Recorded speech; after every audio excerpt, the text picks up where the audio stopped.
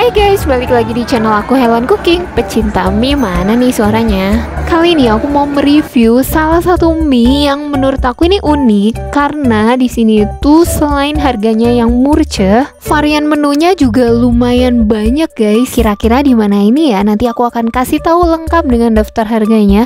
Tapi sebelumnya kalian jangan lupa subscribe dulu ya. Yap ini adalah Wismi yang ada di Bandung Tepatnya ada di cabang Cibaduyutnya guys. Ini lokasinya tepat di pinggir jalan Dan ini parkirannya udah lumayan padat ya Padahal ini tepat masih di bulan puasa guys. Di hari biasa ini antriannya bisa sampai depan loh guys. Dan ini yang bikin aku penasaran buat mampir ke sini. Kira-kira di dalam itu kayak gimana sih suasananya? Pas nyampe dalam ternyata wow lumayan besar juga ya Untuk tempat makannya kayak gini dan untuk pengunjungnya ini datang dan pergi kayak gitu sih Oke langsung kita mau lihat ada menu apa aja sih di Wismi ini. Yang paling terkenal di sini adalah mie. Di sini ada mie goyang, mie disco, mie manja dan start mulai dari 10 ribuan aja ya guys. Ini mirip-mirip sama lawannya yaitu mie gacoan ya guys. Nanti kalian tinggal lihat aja untuk menu-menunya. Tapi di sini variannya lebih lengkap ya karena ada dimsum, ada sushi, kemudian ini ada gelato juga ya. Dan yang bikin aku wow banget di sini tuh mie-nya cabenya luar biasa banget sih. Level 1 aja cabenya udah 10, guys. Begitu datang, cara pesennya itu sama banget kayak pesen di tempat lain gitu. Kita langsung datang ke kasir, kemudian kita pilih menu yang mau kita pesen apa dan langsung payment di situ juga, guys. Nanti makanannya dianterin. Ini cabangnya baru di sini. Ya. Berapa Oke, makasih.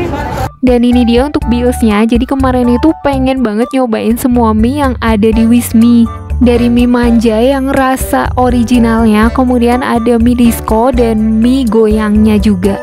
Untuk variannya dari mie manja itu yang rasa original itu harganya 10.000 Kemudian ada mie disco itu dengan cabai 5 dan 3 Ini aku request ya guys.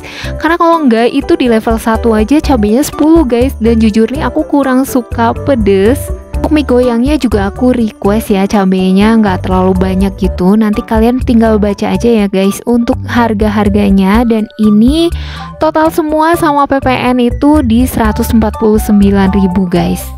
Untuk situasi di Wismi Cibaduyut itu seperti ini guys. Menurut aku ini udah lumayan cukup luas sih Tapi kalau pengunjungnya lagi banyak Segini juga berasa kurang sih. Di sini juga ada ruangan semi outdoornya kayak gini Dan ini sirkulasinya lumayan enak sih ya Kayak di tempat-tempat lain ya guys. Yang datang itu selalu minumannya. Dan ini minuman yang aku pesen udah dateng. Ini di sini ada es Kayak es campur kayak gitu. Ini namanya es DJ guys. Kalau di sini kemudian ini ada es campolai. Kemudian ada lemon tea. Untuk gelasnya ini big jumbo sih kalau esnya. Menurut aku untuk esnya ini enak karena di sini ada campuran buah, jelly, kemudian ini kayak mie-mian kayak gitu, ada sari kelapa juga. Untuk campolainya juga lumayan enak buat yang suka sirup ya. Untuk lemon tea-nya juga enak. Kalau minuman sih buat aku nggak ada masalah ya.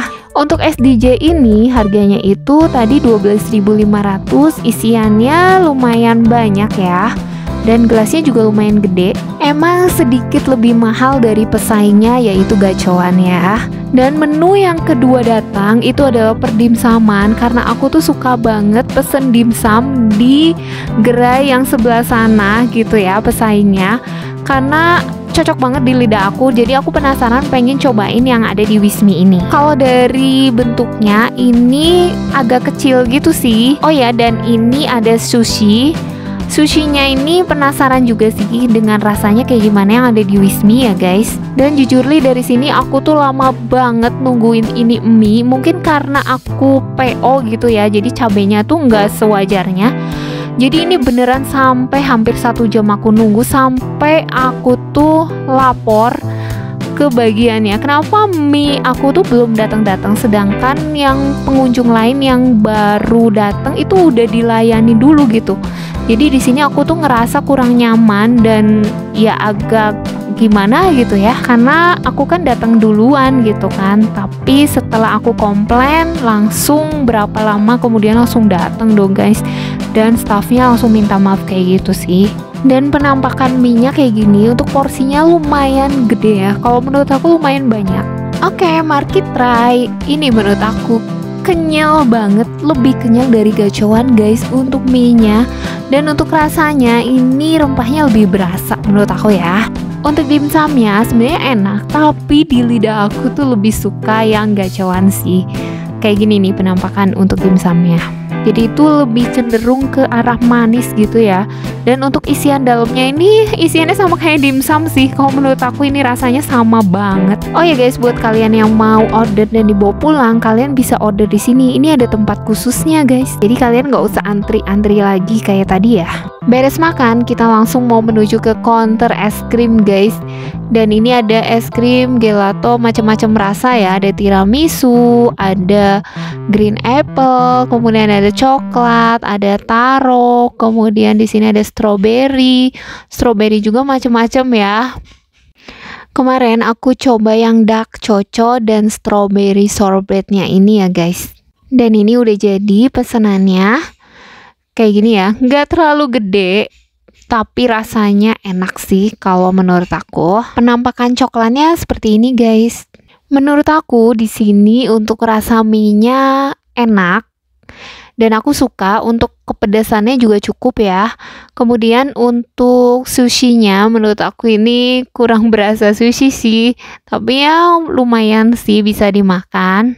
Untuk rasa dimsumnya di sini cenderung manis semua dimsum hampir sama rasanya kalau menurut aku ya guys. Di antara semua yang paling aku suka adalah mie-nya.